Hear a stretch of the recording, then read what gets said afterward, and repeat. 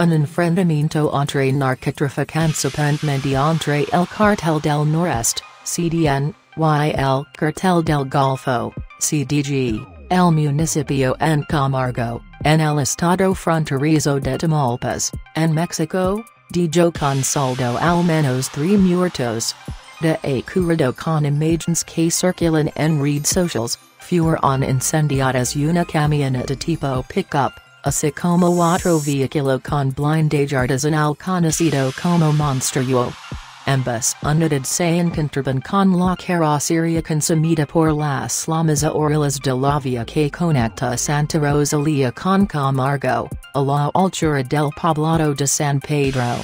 La cantidad de víctimas se deduce por los restos que se apreciaron en las imágenes que circularon en cuentas de denuncia de actividades del narcotráfico.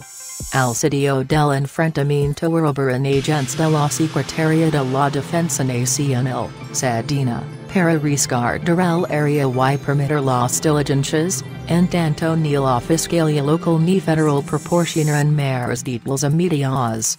El Cartel del Golfo, El Cartel del Noreste y otras células del Cartel de las Zetas suelen protagonizar este tipo battles en que solo quedan residuos en su de mantener el control de la zona fronteriza. Uno de los casos más recientes se dio a conocer el pasado 13 marzo cuando sicarios de estos grupos del narco se enfrentaron a balazos en la llamada frontera chica en el municipio de Dr. Coss, en el estado de Nuevo León en Mexico. Así lo aseguraron cuentas de denuncia, a través de un video en el que se aprecian vehículos monstruo que lucran en esa zona por lo que incluso los comparan con países donde se registran gres.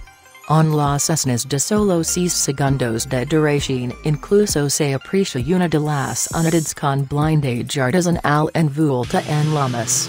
La difusión de este video se registra luego de que en los últimos días se denunciaron las largas battles que duran días y noches enteras como resultado de los enfrentamientos entre el cartel del Golfo y el cartel del Noreste en los municipios de Matamoros y Rio Bravo en el estado de Tamaulipas a unas miles de la frontera con Estados Unidos.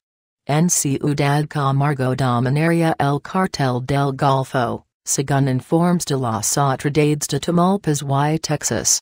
Supuestamente, los capsules regionales serían los hermanos Morfin Morfin, César, alias El Primito y Alvaro No, El Arate.